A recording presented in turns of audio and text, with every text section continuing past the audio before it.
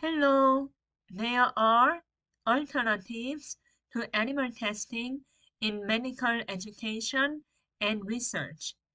And I made this website using Microsoft ASP.NET uh, framework. And this is a home page, and I introduced a dog named Kongang-yi. Kongang-yi died uh, from a painful and long-term animal testing in Korea. Kongang-yi died, but we can save many animals like Kongang-yi through the alternatives to animal testing in medical education and research.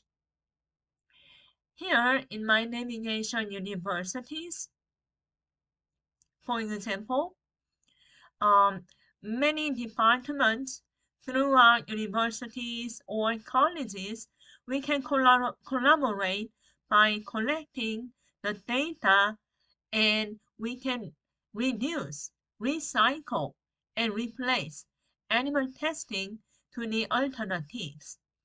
So, to collect data among students, professors, and researchers, I created this web page. Within this uh, research institute, also uh, same function, and then let people know that allocate the text to the alternatives to animal testing so we can fund the alternatives to animal testing. And anyone who notice animal abuse in the name of science, we can report the animal testing uh, as an animal uh, crime. Here, oh, there is a giant mouse picture. We can use mouse to help the lab mouse. Computer technology can be used as an alternative to animal testing too. Here, we can choose a file and then we can upload uh, to the database.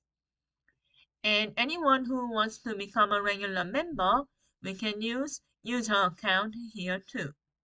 So let's get together to develop alternatives to animal testing in medical field. Thank you.